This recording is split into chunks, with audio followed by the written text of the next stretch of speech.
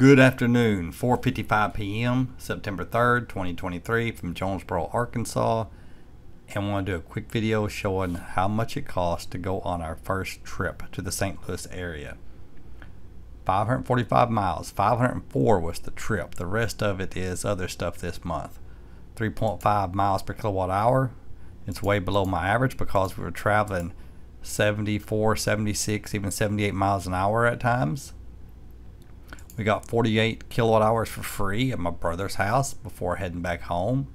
But public chargers are always more expensive than paid ones. Setting 4.7 kilowatt hours from a public charger, which cost us $21.22. These level 3 chargers are not meant to save money, they're meant for convenience when traveling. But even with this outrageous public charging cost, which doesn't bother me because they need to make a profit, I want them to make a profit. I do not care if it costs three times as much as charging at home because I want there to be incentive to put these things out there.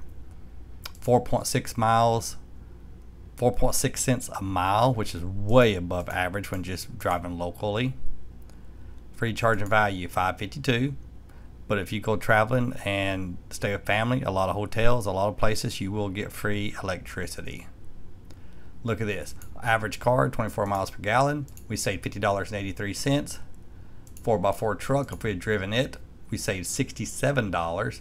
And a Prius, we saved $11.39 even from the ultra gas saving Prius. Look at this. Even paying this outrageous price, look how much money we saved on this one short trip. All right, that's all. Bye.